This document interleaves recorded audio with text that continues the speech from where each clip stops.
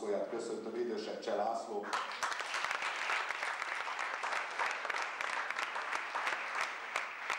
Nagyon ösztönöm, ha be kéne mutatni ifjabb Cseh László.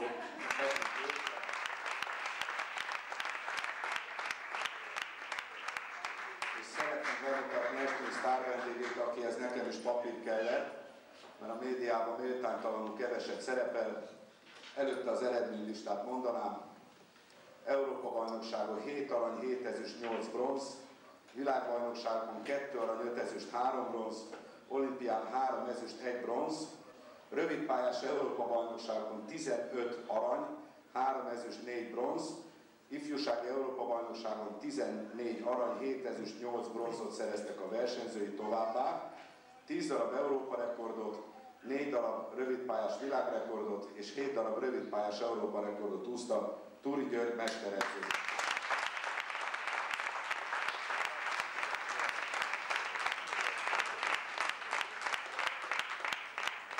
Először azt szeretném, ha úgy menne ez a kvázi élménybeszámoló, amit Cseh neveztünk el. Először föltennék minden résztvevőnek én egy kérdést, és addig mindenki gondolkozhat a sajátján. Idősebb Cselászlótól, jó barátunktól azt szeretném kérdezni.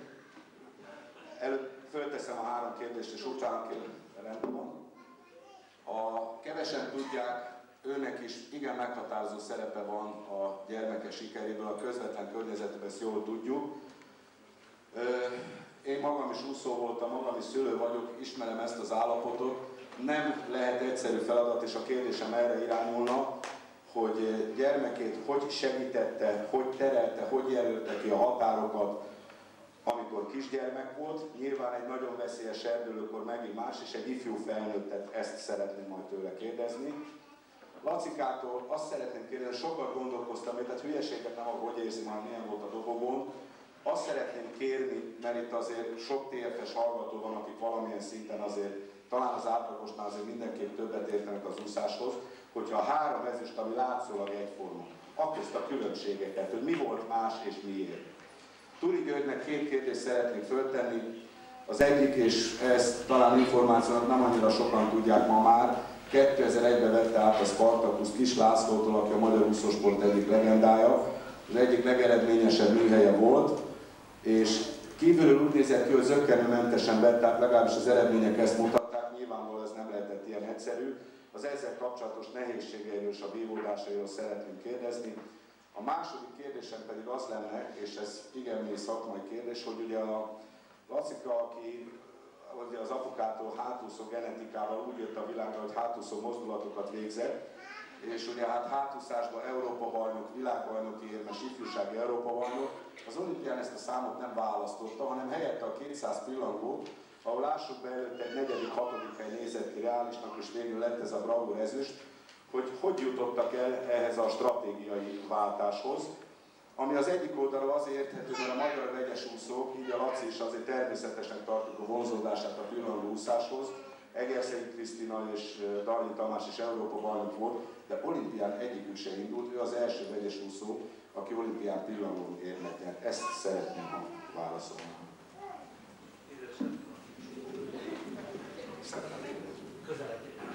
Szeretettel köszöntök mindenkit. Hatalmas élmény itt lenni, megmondom őszintén, már kétszer megkeduláltam magam valamilyen szakelvégzésének, nem sikerült befejeznem soha, ezt csak úgy zárójelben mondom.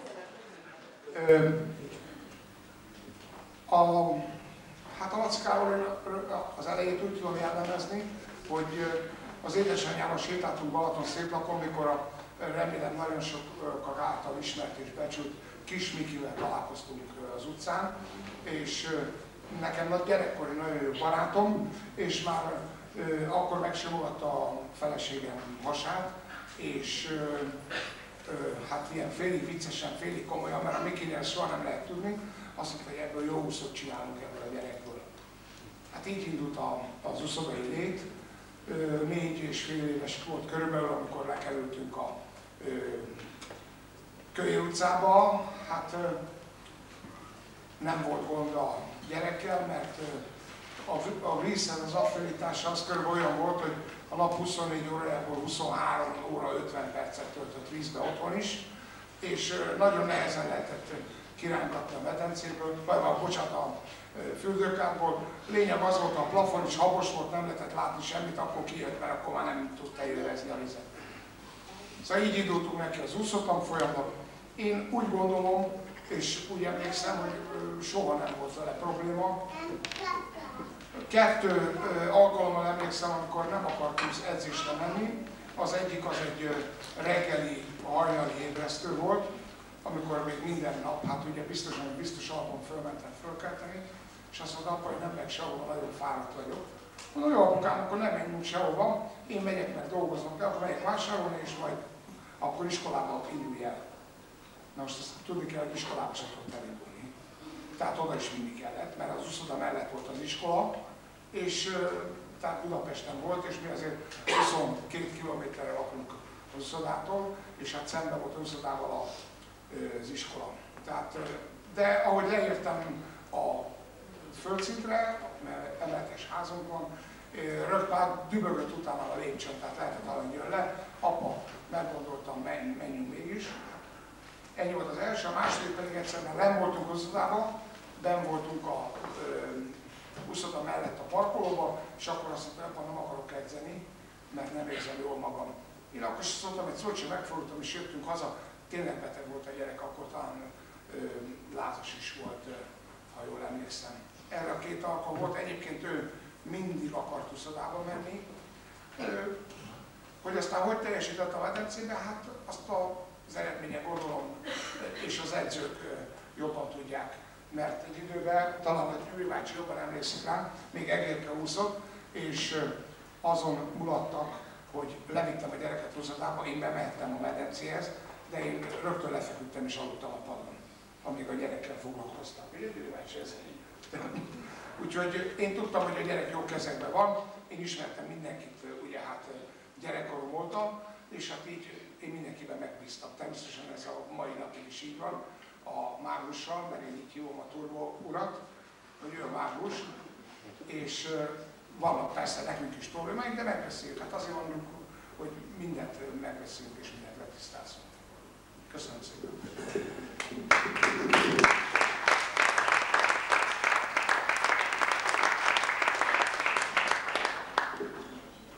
Hát, szeretettel köszöntök mindenkit, nagyon örülök, hogy összegyűltetek.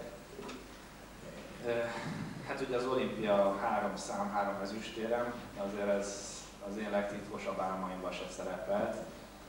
Titkon reménykedtem, hogy nagyon jó szereplésbe, de hát ennyire jól fog sikerülni azért nem gondoltam bele. Hát ha összesítenem kéne, és hát meg kéne mondanom, hogy egyes számok hogy alakultak és hogy álltak össze, akkor gyakorlatilag azt kell mondanom, hogy igazából mi, akik 400 vegyesre koncentráltunk, arra készültünk teljes erőbedobásra, hiszen az a legnehezebb úszás, nem arra kellett a legtöbbet edzeni, és arra kellett legjobban fel, tehát arra készültünk fel, meg hát úgy éreztük, hogy azon van a legtöbb esély. És hát a, végülis a 400 egyesen ugye legjobb időeredményemet sikerült elérni, nagy, nagy hajrával legyőztem a másik amerikai Loktit. Felszett sajnos nem sikerült megszorítani, de ez abszolút nem szerte a kedvemet, hanem örültem a végre megszerzett ezüstéremnek, amit már Attinban is nagyon szerettem volna elérni, hát ott sajnos nem jött össze, itt sikerült. És hát sikeres 400 verés után egy feldobott hangulatban, érezve, hogy csúcsformában vagyok, hogy, hogy mindenre képes vagyok, a 200 pillangó tényleg egy, egy, egy, egy olyan úszás volt, amiben nagyon elfáradtam, de, de a versenyzésnek az első másodpercétől az utolsó másodpercig minden egyes mozdulatot nagyon élveztem. Ezt uh, fontos uh, elmondani, mert a pillangó ugye, hát úgy van az emberek emlékezetében, hogy az egyik legnehezebb úszás nem is ott a leg, legnehezebb úszni, és az a legfárasztóbb. Én úgy gondolom, hogy a pillangó az, hogyha jól megy, jól ráérez a versenyző, akkor nagyon könnyebb tud lenni. Természetesen ugyanúgy elfáradunk, de, de, de egy olyan dinamikus, könnyed úszás is tud lenni az eleje, és ezt én nagyon élveztem. És hát ugye miután meg volt a 200 pillangó, akkor tényleg kimondhatatlanul örültem. nagyon-nagyon szoros csata volt, mellettem a japán nagyon jött. Én úgy, úgy gondolom, hogy az nagyon jó volt, hogy gyakorlatilag mire már a második százra ráfordultam, én onnantól kezdve gyakorlatilag elkezdtem hajrázni, és azt mondtam magamból, hogy most elfordultam, most ha megfulladok, megfulladok, ha 150 lennék ki kell mászni, akkor kimászom, de én most elkezdek erősen úszni. Úgyhogy mindent belattam, és hát jó jött ki, de azért azt hozzá kell tenni, hogy így a felvételeket visszanézve azért az is, én úgy vettem észre, sokat számított, hogy a fordulóba, a kidelfinezésemnek egy kicsit javult, és hát még több, tovább tudtam delfinezni, mint a mellettem lévő. És hát ugye jött a 200 vegyes, ami amire már sajnos úgy kellett odaállnom, hiszen a 200 pillangó döntő volt délelőtt, délután már 200 vegyes előfutam volt, hogy eléggé fáradt voltam, és nem éreztem azt azt a, a kipihentséget, amit a 400 vegyes vagy a 200 pillangó előtt éreztem, de, de tudtuk, hogy, hogy azért még az előfutam, középfutam az nem lesz egy olyan nagyon kemény menet, ott még az is spórolhatok az energiámmal. Úgy érzem nagyjából, hogy sikerült itt, de mire jött a 200 éves addigra eléggé elfáradtam.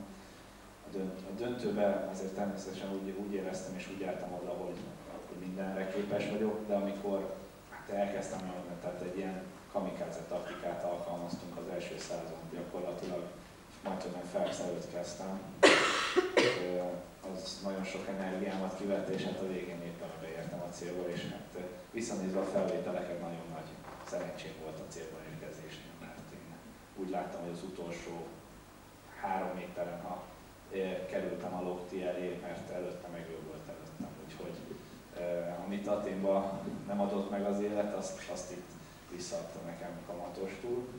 És hát miután beértem 200 évesen, én éreztem, hogy, hogy hát igaz, hogy megúsztam a legjobb időeredményemet, de abszolút az az érzésem volt, hogy sokkal jobbra vagyok képes, és sok maradt még bennem a 200 évesen remélem, hogy ezt a következő versenyen sikerül kihozni magamból.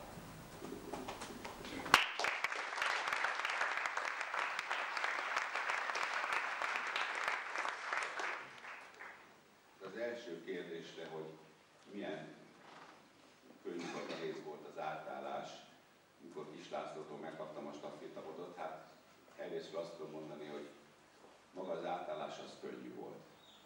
Az előtte eltöltött 18 egy néhány év, amit együtt töltöttünk Kislászóval, illetve dolgoztam mellette, na az volt a nehéz, na nem azért, mert olyan sanyarú sorsom volt, de megkövetelte tőlem, és belém nevelte tulajdonképpen a munkához való alázatot, a kitartást, a küzdőképességet, és azért az nem ment egyik pillanatról a másikra. És utána ezt láttam, ezt tapasztaltam, ezért úgy gondolom, hogy talán az életkorom is megfelelő volt hozzá, én nem, nem éreztem ezt nehéz feladatnak. Azon kívül természetesen, hogy különböző ö, okoknál fogva ö, a nagy egyesületek modellje az kezdett hanyatlani, pénzügyi nehézségek voltak, én tudom, hogy ezt nehéz volt átvészelni, mind a versenyzőim, mind a kollégáim kitartottak mellettem, vagy egymás mellett kitartottunk, azért ez előtt adott, és én azt gondolom, hogy, hogy azért visszanézve persze minden más, és az idő mindenre orvosság, de nem volt ez egy olyan ördögős feladat. Gyakorlatilag nagyon, nagyon régre vezethető vissza ez az egész dolog, hiszen én gimnazista koromban pont az itt most éppen moderátorként szereplő tanszékvezető úr volt a legjobb gyerekkori barátom, és az ő ismerettsége révén kerültem én az úszósportba. És valahogy olyan hatással voltak rám az akkori élúszók, Hargita Jándrás, Verasztó Zoltán, Sors Csaba, Rudolf, Robi és a többiek, és hát természetesen az edzők Szécsi Tamás, hogy én már akkor elhatároztam, hogy úszóedző leszek. És ez valami olyan, olyan erős lendületet, vagy, vagy hitet adott nekem, hogy ez tulajdonképpen végig kísért a pályán a mai napig, és hát én ennek szellemében élek. A másik kérdés, hogy azért ne magamról beszéljek sokat, hogy ez a 200 pillangó, hát azért ennek voltak előjelei. Egyáltalán 12-13 éves korára kell visszatekinteni Lacika sportpályafutásának, talán akkor volt serdülő korú, és tudni kell azt, hogy az én edzés módszeremben mindig a pillangóúszás az edzések első feladatai közé tartoznak, és hát volt egy edzés panel, amit én mindig, amivel én kezdtem mindig az edzéseimet. És hát ez a Lacikának vannak idején nem nagyon tetszett, mert kisgyerek volt, tehát hozzá kell tenni, tényleg. Nem is tudom. Hát tíz éve volt. És hát bizony nem azt csinálta, amit szerettem volna, más elképzelése volt, és rögtön úgy kezdődött a közös munkakapcsolatunk, hogy hát akkor én mondtam, hogy akkor ezt most hagyjuk, és majd próbáljuk meg legközelebb, és elküldtem haza. És lejött másnap, megint elküldtem, és a végén tulajdonképpen így elrontottuk az egész első, a munkánk első részét, és a bajnokságon aztán bejött a krak, és azt hiszem 10 vagy 11 ezüstérmet szerzett, egy versenyszámot nem tudott nyerni. De már akkor is a pillangóúszás volt az, ami mindenképp, amihez mindenképpen ragaszkodtam. Aztán utána rádöbbent ő is, hogy hát próbáljuk meg azt, nem azért, mert én olyan okosat mondtam, de hát mégiscsak ő még gyerek, az edző, amit mond, és utána szépen ezeket a pillangó feladatokat is nagyon kultúráltan megcsinálta, meg is tett az eredmény, a következő évben már több bajnokságot nyert. Aztán, ha kicsit közelebb múltra tekintünk vissza, hát ott volt Risto Véva. Hát ő is a pillangó úszásban tulajdonképpen a olimpiai világ és Európa bajnok világcsústatói Csápa volt, hogy versenyzett, megvette, előtte végzett, tehát mindenképpen a pillangóúszás az, az valahogy a szívem csücske volt, és mindig is vágtam arra, hogy egyszer majd jó eredményt érjük el.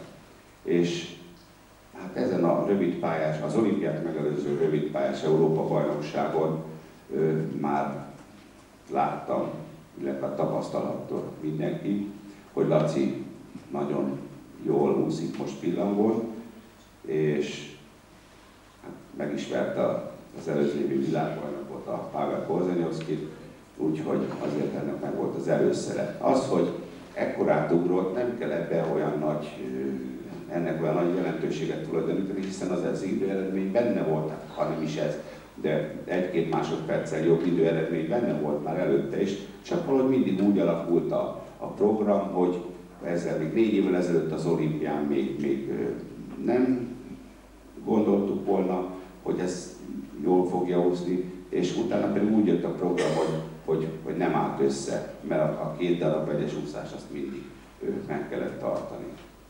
Hát, tehát gyakorlatilag ennyi volt a, a 200 pillangó, természetesen számomra ez volt a legnagyobb ajándék, meg a legnagyobb meglepetés és a legszebb úszás, és azt gondolom, hogy Márkuk Pepsnek viszont ez volt a legfájó versenyszáma. Tudom, hogy belement a szemüveg a szemüvegébe a víz, és hújorgott is utána, meg a levegőjét is kapkodott. Én azt tudom, hogy az edzője mellett ültem, és Bob Bowman hát 175-nél hátra fordult, és felnézett az égre, hogy mi lesz. Hát azt hiszem 67 század különbség volt, azért ez egy nagyon szép teljesítmény volt, és nagyon büszke voltam Lacira. Köszönöm.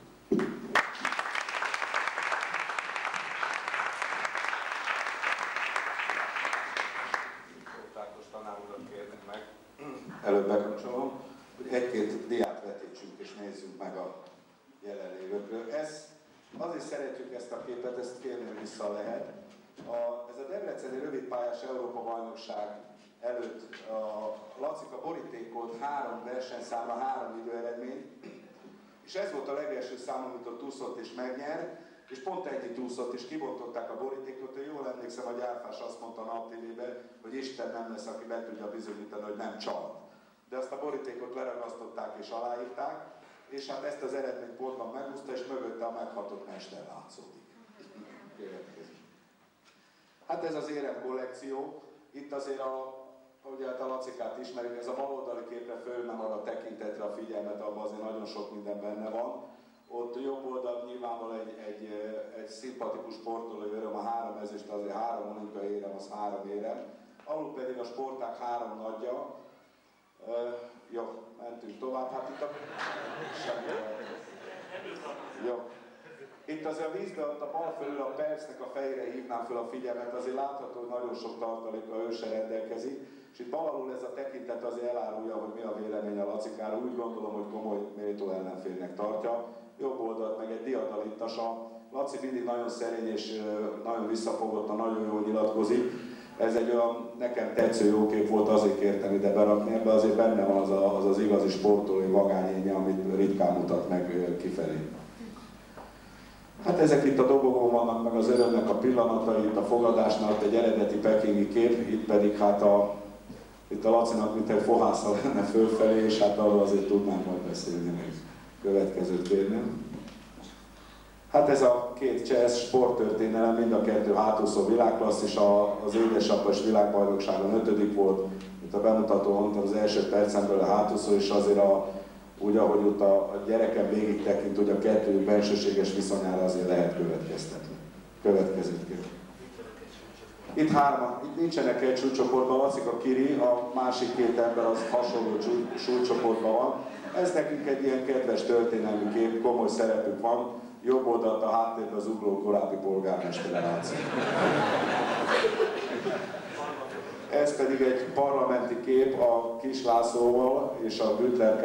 A Gütler Károly jó barátja Turi Györgynek nagyon régóta, Lacikának is ilyen atyai jó barátja, Kis Lászlónak pedig azért nagyon sok közel van ahhoz, hogy ők hárman itt álltak a parlamentben. Kis Miklós, akiről szó volt, ma még a Kis Miklósról azért kerül szó, és természetesen úgy építettük fel, ő nélkül ez nem lett. Ő tanította meg Uszti Lacikát, meg Egerszegi Krisztinát, meg sorolhatnám számtalanszor. Itt a TF hallgatók több filmét láthatták már, akik járnak órára. Az oktatás az rendkívül komoly, nagyon komoly minőségeket, egy rendkívül szorgalmas mérnökember, hatalmas tapasztalata. Nagyon szeretjük a filmjeit, könyve is van. Ő látható a, a Kacander Ágnessel, aki Európa bajnok érmes mellúszó volt. Na ez a kép, ezt én azért tettem be, mert ezt én kértem, hogy legyen bent, mert itt azért jól látható, hogy nem úszásról beszélgetnek, és nem egyszerű gratulációról van szó. Én szerintem ott vagy valaki bejött az úszodába, aki nem zárható ki, hogy nem hinnemű, és esetleg valami ilyen jelenségre hívhatta föl a versenyzője figyelmét, de ez azért kettő kapcsolatára is, az a jobb karral, megöleli a versenyzőjét, abban azért benne van sok minden. Hát ez pedig egy, egy szenzációs kép, itt jobb oldal Csaba Lászlóra, a tanszékünk tagjára hívnám fel a figyelmet. Középen Laci, ez Debrecenre készült az Európa bajnokság után, és hát ugye az Egerszegi Krisztinát nem kell bemutatni. A Debreceni polgármester úr, a szervezőbizottság, a Darnyi Tamással, itt mérhetetlen mennyiségű olimpiai érem és szaktudás van a képen. Gyárfás Tamás úr, igen, és szerettem, Ruza József főtitkár, nem akár, hát és a tóták, és aki a tótát kezeli. Hát itt meg egy Rahedli olimpiai érem, itt a sportág nagyjai. Hát a, lehet itt beszélni, hogy ez ennyi arany, annyi arany, itt meg még nincs arany, de indokolt azt mondani, hogy még nincs arany. Ez a Debrecen elvi utáni három arany, a, két szélén pedig összesen azt mondja, az a pillanat 4-5-9 olimpiai arany közt. Remélem inspirálja Lacikát, hogy azért ott is legyen. Itt pedig egy hasonló jellegű kép, még Kovács Ágnyol, hát itt az Európa bajnoki aranyokat kéne összeadnom, meg is zavarban lennék, pedig azért a számokkal nem állok a világon. Következőt kérném, hát ez pedig egy mindent elmondó kép. Szeretünk, Laci, ez hol készült Ákos erre nem is?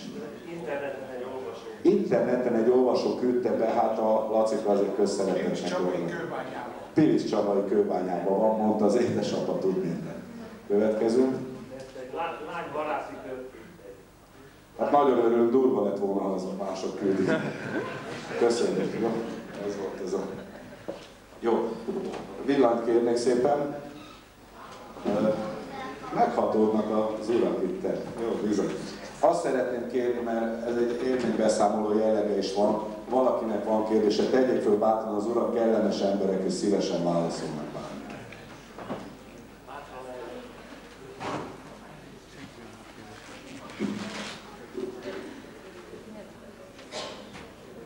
kérdést. Hát itt... Na. Megint én tegyek fel? Jó. Jó. Azt szeretném kérdezni, most fordított sorrendben megyünk. Turi Györgytől, hogy most már Lacika pillangó hátul vegyesen nyert olimpiai világ Európa bajnok érmeket, mikor jön a mellé és a gyors? A lehető legjobb kérdést tetted föl, hiszen azt szoktam. a vegyes úszásnak az egyik kulcs úszás nem a mellúszás, és annak ellenére, hogy elég szépen fejlődött ebben az úszás nemben is Laci, én azt gondolom, hogy ebben még mindig vannak másodpercek, vagy tized másodpercek mindenképpen. Ha bár el kell mondanom, nem tudom, talán tavaly, igen, 2008-ban hát Kínában jártunk, és ott azért ilyen alapozási időszakában egy 2.14-es, 2 perc, 14 másodperces 200 mellett azért megmutatott, de én azt gondolom, hogy sokkal érdekesebb lesz a magyar bajnokság is, hogyha ebben az úszás nemben is fejlődni fog. De ezt őszintén el kell mondani, hogy azért az nem várható el, hogy, hogy világszinten, tehát egy-egy ilyen világversenyen, mellúszásban is dobogóra kerüljön. Tehát azért annyira nem, nem szabad el mennünk a mellúszás felé, de mindenképpen ebben még nagyon sok lehetőség van. Csak kijön belőle, nem tudom visszafogni, mi lesz a hátúszás?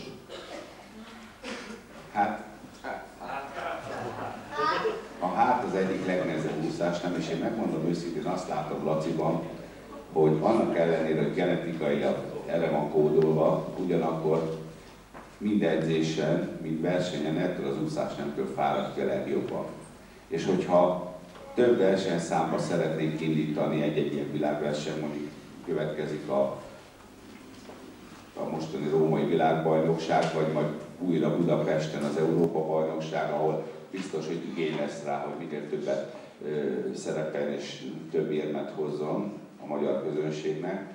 Tehát az se jó, hogyha teljesen kifárasztjuk, és, és hogyha elővi a puskaporát, akkor majd a következő versenyszámokat nem tudja ö, hát, megfelelő szinten teljesíteni. Tehát erre is a vegyes úszás miatt szükség van, de én azt gondolom, hogy hát meg azért azt kalkuláljuk, hogy talán 6 vagy 7 éve ugye minden világversenyen, ahol elindult érmes volt, tehát azért nem, nem lehet őt a végtelenségig kihajszolni, tehát ő nem egy olyan versenyről, amit addig hajszolunk, amíg összerogyik, illetve pontosan azért lenne, hogy összerodjon.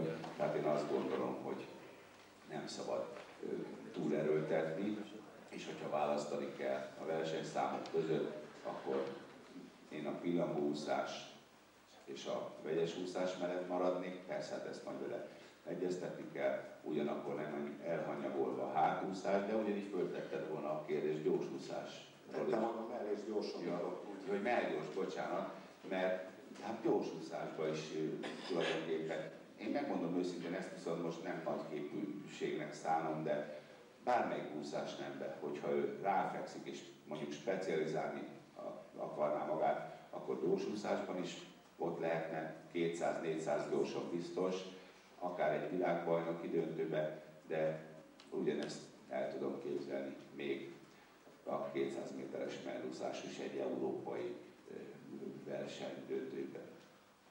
Köszönöm. A Lacikától azt két dolgot szeretnék kérdezni, illetve előtte egyet mondani, azt őszintén mondom, hogy így nyilatkoztál a 200 pillangóra, ezt ajánlom hogy minden tempóját élvezted, most lettél igazi úszó, az biztos. Eddig nagyon jó úszó voltál világhoz, hogy igazi úszó most lettél. Itt szóba jött, és úgy gondolom, hogy az a méltó, hogy beszéljünk róla, a kis Miklós, aki téged megtanított úszni, hogy emlékszel vissza vele való kapcsolatra, és milyen van kapcsolatotok, mit megbeszéltek a versenyek után, találkoztok, összejártok, hogy hogy viszonyultok?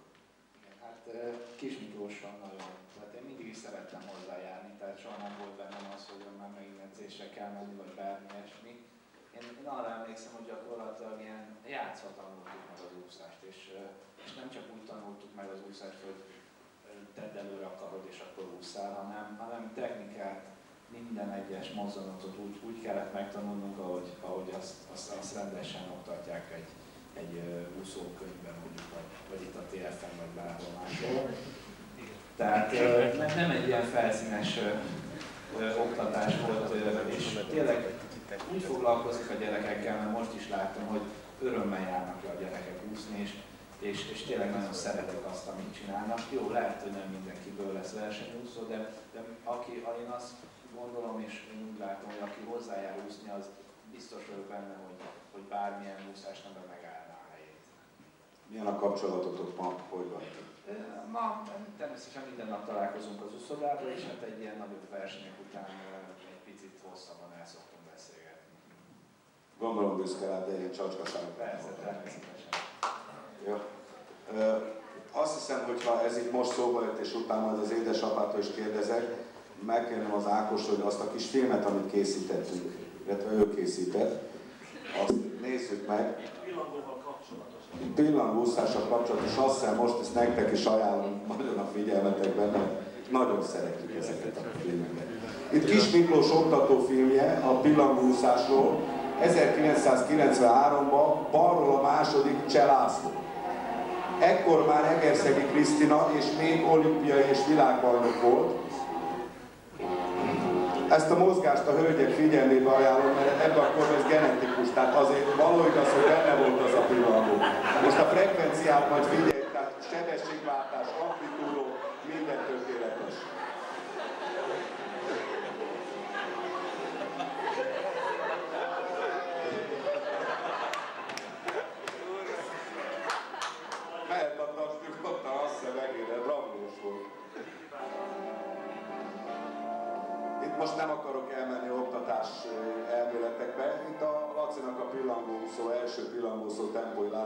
A Spartacus uszodába, és vajon majd fölismerjük-e, itt végig megy rajta a kamera az akkori társak, mert az itt jelenlévő Tóth Ramon is látható lesz. Ott vagyunk, ott vagyunk, ott vagyunk. Nagyon jó. Kicsit messzebbről is. És azért ugye nekem is a szívem vagy ezt a 200 pillanatot most megnézzük. Phelps eddig csak szórakozott, így is olimpiai csúcsot úszott az előfutamban és a középdöntőben. Ha ő erősen úszik, akkor nincsen ellenfele. Úgyhogy őt ne is nagyon figyeljük, figyeljük inkább Lacit, hogy mire képes. Két másodpercet javított az országos rekordon. Két másodpercet már az előfutamban és aztán a középdöntőben tovább faragott saját csúcsán. Phelps a, a második helyen, Gelati a harmadik, nagyszerű, nagyszerű kezdés, 25-58.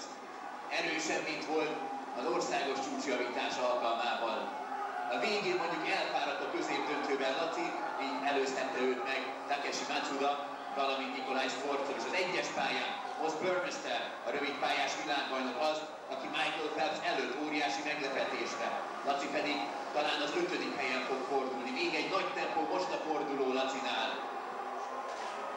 A negyedik helyen jelzi a gép 54-59, tehát továbbra is az országos csúcs részidején belül. Oz Burmester meg továbbra is Michael phelps együtt. Az egyes pályán az új-zélandi Phelps most erősít bele, és is most erősít bele. Figyeljünk, figyeljünk Laci, aki megpróbál följebb kapaszkodni. Tehát fölülről a harmadik pályán Cselászló, és most éppen, most éppen talán, talán, talán már a második helyet, nem harmadikként írja a gép, Laci. Harmadikként a gép az utolsó forduló előtt. Jön Matsuda és jön Skorcov is, próbál följebb zárkózni Cselacira. Michael Phelps az első helyen nem kérdéses. Laci pedig csatában Matsudával, illetve Burmisterrel.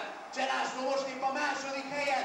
Gyerünk, Lacikám, meg lehet a dobogó, meg lehet a dobogó. Phelpsnek meg lesz talán a világcsúcs, Laci pedig Matsudával az ezüstéremért küzd. Kérem szépen, olimpiai ezüstérmes Cselászló, 200 pillangón is. Phelps új világcsúccsal történelmet ír, Cselati pedig félelmetes új országos csúccsal 1.52.70-nel, új, uh, új Európa csúccsal a második helyen végez. Phelps nagyon kiúzta magát. Hát azt mondtam, hogy két-három másodperccel jobb a mezőnél. A fenéke 67 századdal jobb csak a többieknél. Láttak már ilyet? Elfáradt Michael Phelps.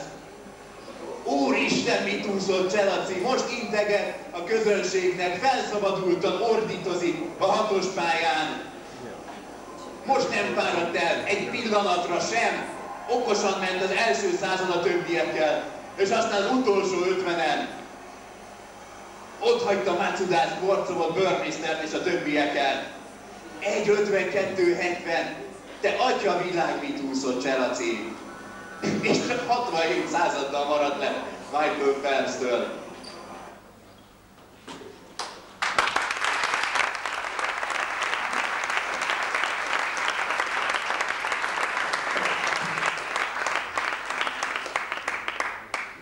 Közben történt egy kis beszélgetés az édesapával, és elég régóta ismerjük egymást, mi itt egy olyan 45 éve, az Lacikát is, és amikor bemutattam az édesapát, elfelejtettem hozzátenni ott a genetikánál, hogy ő, ő volt a Magyar Úszósport első ifjúsági Európa bajnok, az első ifjélvé részt vett, ahol Gyarmati András a jelenlévő Borlói Mátyás és aranyérmet nyert.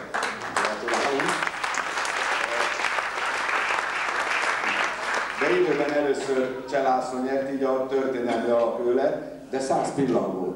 Tehát már háton volt világklasszis, de azért a pillangóúszás, tehát azért itt is a genetika megvolt. Rosszul tudod. Macsi volt az első. Nem, nem, a Laci volt. A Matyi csak mondja, mert most itt van. Jó? Azt szeretném kérdezni, hogy van-e kérdés? Szeretném, ha lenne. Kérdezzetek, nem minden nap sétálnak be ide ilyen emberek.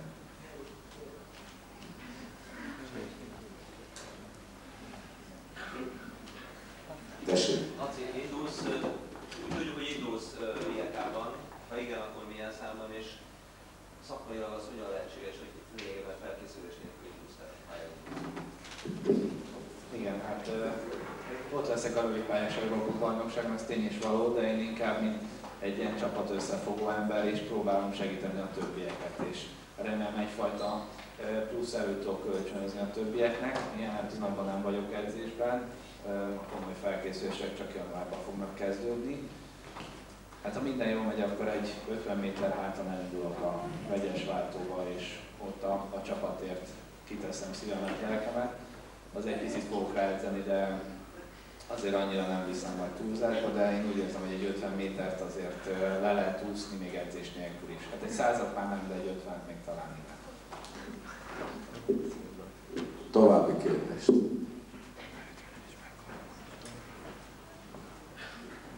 Jó, akkor a, ott akkor a kérdést kérjük. Mi a véleményed az új úszódresszekről? Próbáltál-e hát új úszni? Az új dereszekről az a véleményem, hogy ugye a rövid, vagy az Eindhoveni Európa bajnokságon megjelentek ezek az újfajta dresszek, amit a Speedo fejlesztett ki. Mindenki el volt ájulva tőle, hogy hát ez mekkora minőségűek és mennyivel jobbak, mint a eddigi dresszek, amikben tényleg az volt a jó, hogy vízlepergető volt, vékony volt, kicsit összefogta a testet, és ezek az új dresszek meg egy sokkal, de sokkal könnyebb és jobb benne úszni. Amikor ezt mondták nekünk, akkor mi legyintettünk, hogy hát ez kizárt, ez nem lehet.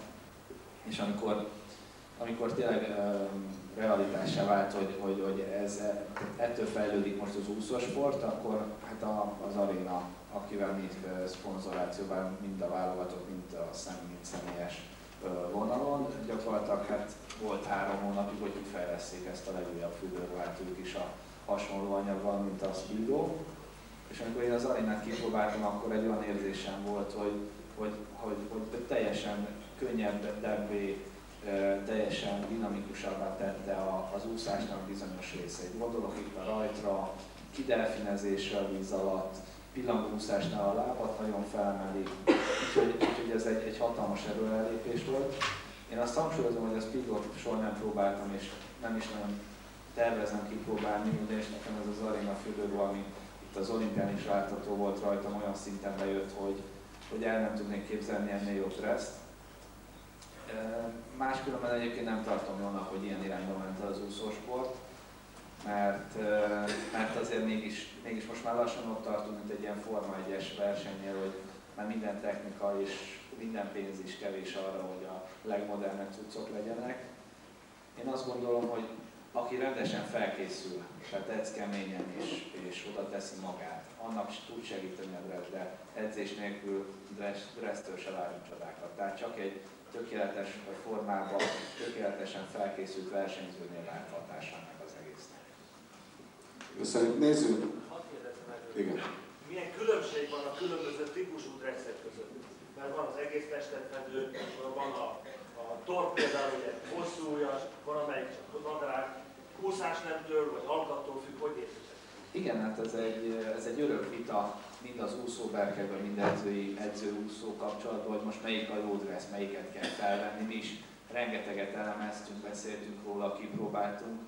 Ugye van, van, van ez a full body, ez a, ami válik, nem, nem az egész part befedő, hosszú. Ez gyakorlatilag úgy veszem észre, hogy inkább a gyorsúszók favorizálják nagyobb számban, meg még talán a hátúszók. A egyes úszás én úgy érzem, hogy nem igazán alkalmas, legalábbis számomra, mert a, a pillangó úszásnál és a, a hátúszásnál is kicsit olyan, olyan nem túl szabad, szabaddá teszi a mozgásomat, és kicsit úgy lefog és elszorít hogy az versenyzője válogatja, de én, én úgy veszem észre, hogy most ez a biciklis változat, ez a deréktól térdig érő, ez kezd kimenni a divatból, és mindenki inkább a deréktől bokáig érőt használja. Régen az volt a, az elf, hogy ugye mellúszásnál kell a térnek tudnia e, mozogni, és, és, hogy, és hogy ott úgyis a lábnak az a szerepe, hogy belakadjon a vízbe, és nagyot lehessen rúgni, nem az, hogy, hogy kicsúszson a víz belőle. És most én úgy veszem észre, hogy ez kezd eltűnni, vagy egész testesbe, vagy, a, vagy derékig érő dressbe úsznak a versenyzők. Jó, erről is van egy nagyon rövid kis filmünk, ezt javaslom, hogy nézzük meg.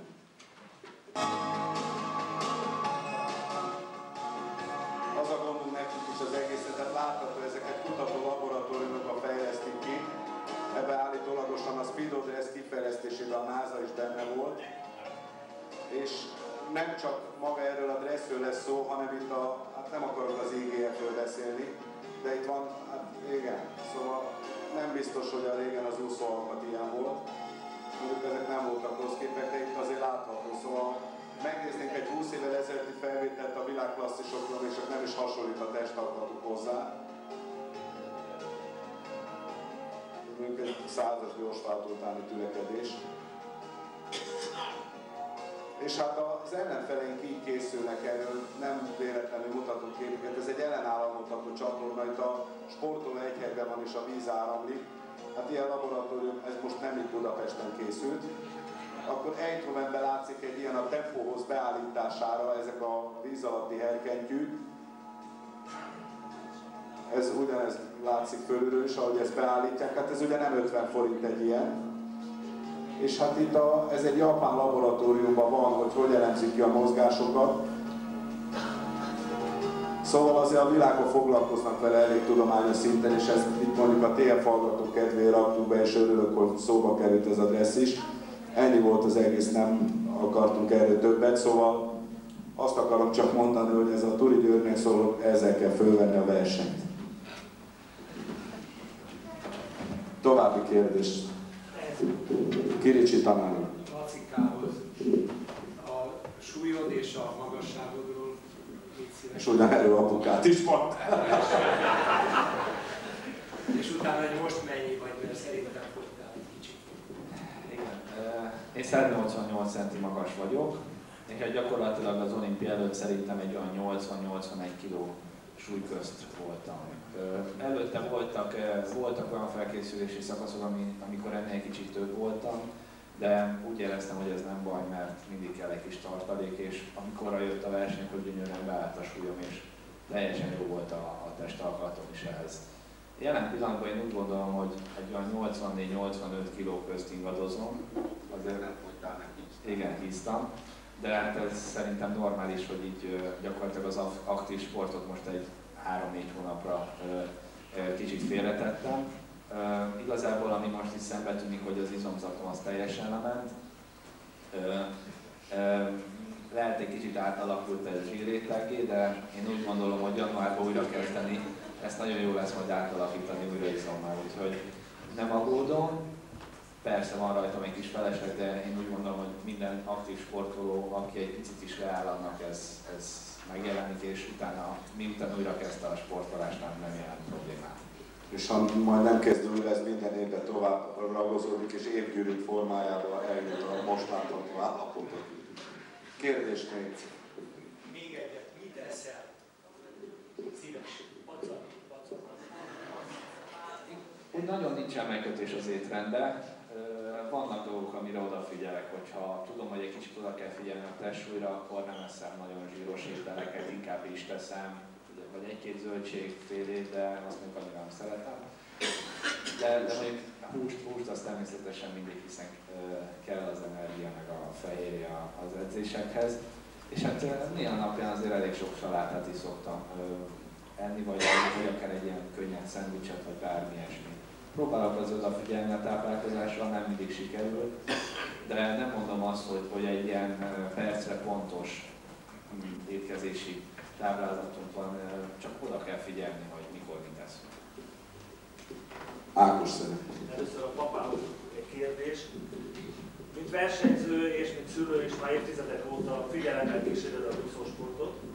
Hogyan látod a fejlődést? A transzékvezető úr és egy TDK-s kollega úr nagyon jó összeállítást csináltak, kimutatást. 88-tól 2004-ig egy bizonyos tendenciát, 2004-től 2008-ig pedig ugrás. De aki a, most már főleg a parton kívül vagy, hogyan látod az úszósportnak a mostani helyzetét, a fejlődését? Akkor rögtön a Turi Gyuri az egy kérdés. Láttuk a laboratóriumokat, őrületes, milyen erővel készülnek.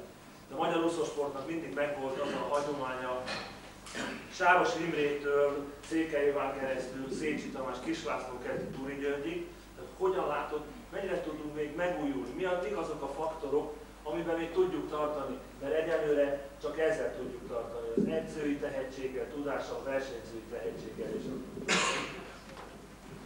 Szóval úgy látom, hogy a mi időnkben, hát rossz szóval mondanám, hogy úri sport volt az úszás. Most nem azért, mert kik csinálták, hanem azért, mert ilyen műkedvelő szinten ment.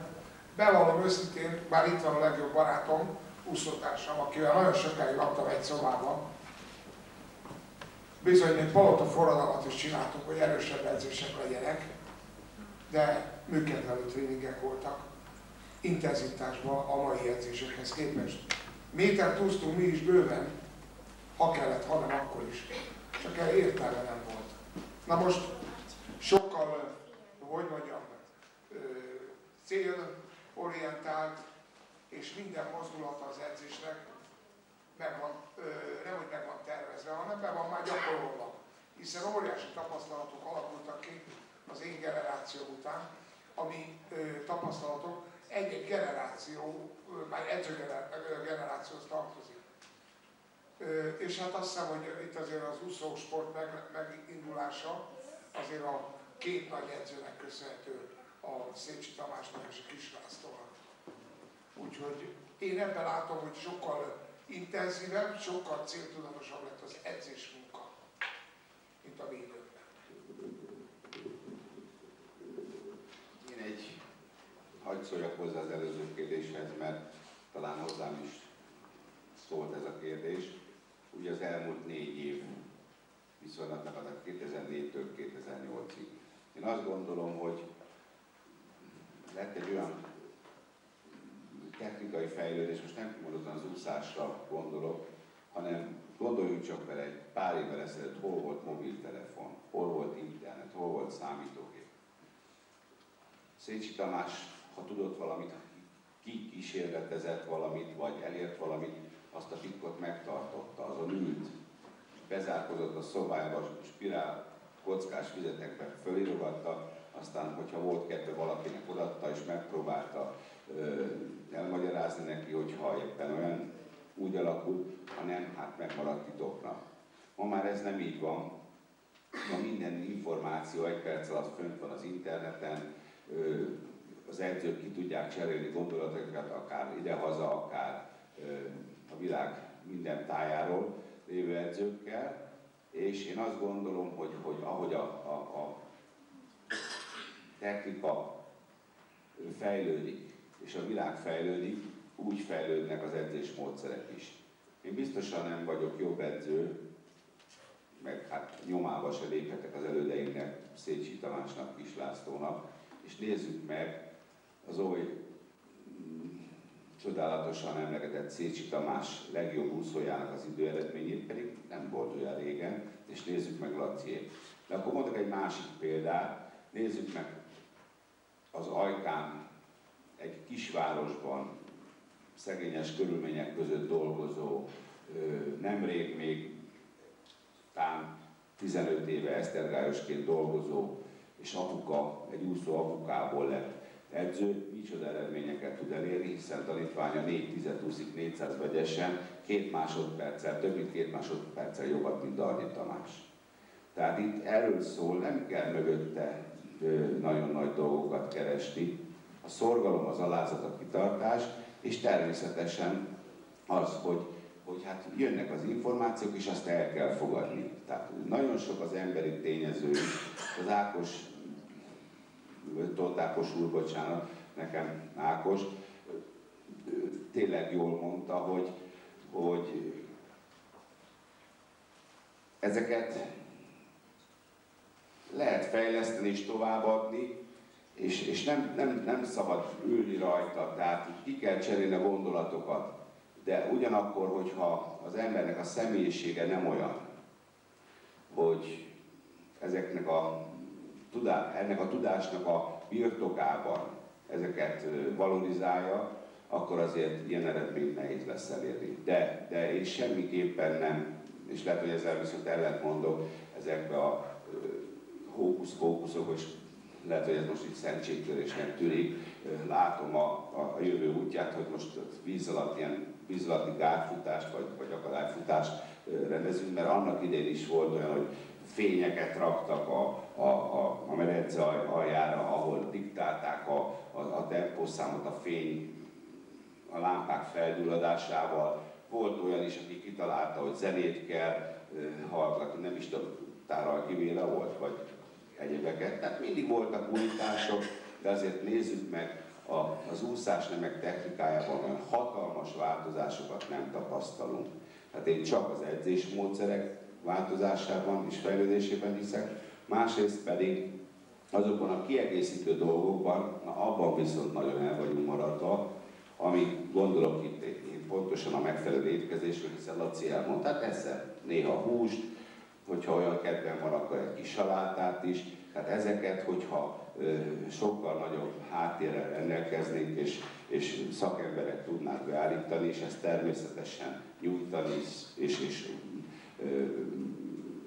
előkészíteni számára, gondolom Michael Phelps nem úgy készül föl ezekre a hatalmas teljesítményekre, hogy bemegy a McDonald'sba, aztán bedob két hamburger, és aztán úszta a világcsúcsokat. Tehát ebben nagyon el vagyunk maradva. Én azt gondolom, hogy, hogy a, az orvosi háttérben, a, a, a kiszolgálók tekintetében, a kiszolgáló személyzet tekintetében nagyon-nagyon sok minden múlik, és hogyha ebben tudnánk egy kicsit jobb körülmények közé kerülni, akkor föl lehet nevelni. Én ma mai napig azt mondom, hogy a Laci szebben és jobban úszik, mint Phelps, egyet tud, jobban bírja a, a fordulói jobbak, de emögött én ezeket látom, amit az előbb elmondtam. Köszönjük szépen. Van-e? Egyébként ehhez mi igyekszünk majd támogatást nyújtani, mi egy ilyen tímbe azért bemennénk, de ez az egy szemléletváltásra szükség van. Tehát az egyik oldalt, amit a Gyuri a gyakorló oldalra elmondott, ezt nagyon így látjuk. Amit az Ákos megmutatott, az a pici film, az, az nagyon úgy van. Tehát a világban nagyon előrébb tartanak. Mi azt látjuk, és a édesebb Cselászló is beszélt ilyesmiről, szóval most volt az a 20 év a magyar sportban, amikor a sport infrastruktúrájára lemaradtunk.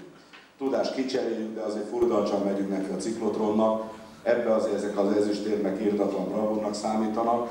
Kérem szépen, nem akarom rabolni az idejét, a sztároknak munkájuk van, a turicsak azért továbbra is tart edzést, hiába pihen a Lacika. Először is nagyon szépen köszönjük, hogy eljöttek, és egy kis ajándékot szeretnék átadni mindenkinek.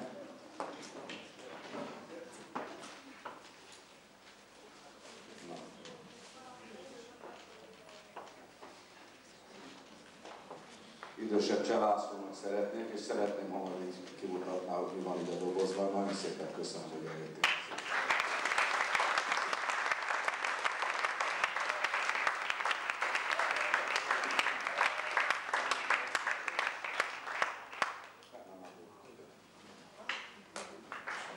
Én azt írtam, hát a Matyival majd megbeszéljük, hogy a Magyar Úszósport első ifjúság Európa bajnokának és egy percen belül százas hátúszójának.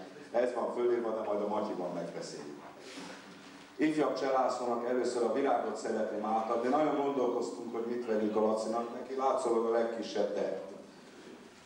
Ezek az ezüstérmek azért mindenki másképp élte meg. Legyünk őszintén, korábban az volt, hogy aki ezüstérmes volt, az kikapott. Az ő esetében nagyon helyesen nem így élték meg, és mi azért, és itt ma egy dologról kerültem, hogy szó essen. Azért, hogy megelőlegezzük, hogy ilyen érmet akasszanak a nyakába Londonba is. Egy aranyérmet kap egy magyar szalaggal, aminek az van írva a hátára, és elvehetik a házát, kocsiját, barátnőjét, kezét, lábát levághatják, de egyet nem vehetnek el tőle. Ő a világ első négy percen belül vegyes úszója, tavaly Debrecenben rövid pályán, ez abszolút történelme, erről évszázadok múlva is kvízkérdés lesz. Én ezt a nyakadba akasztom, az gratulálok.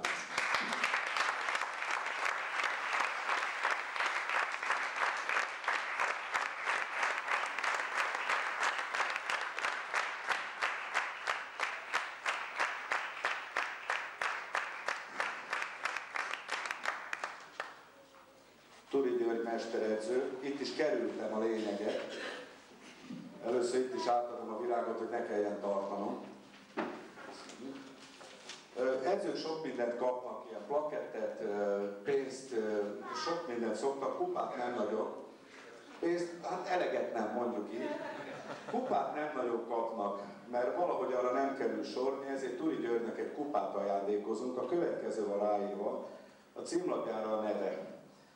A hátoldalára pedig, és ez így van, ezt is kevesen tudják, a Pekingi olimpia legeredményesebb szakosztály vezető edzőjének, az ő szakosztálya szerezte a legtöbb pontot a Pekingi olimpián, Asszony Jogos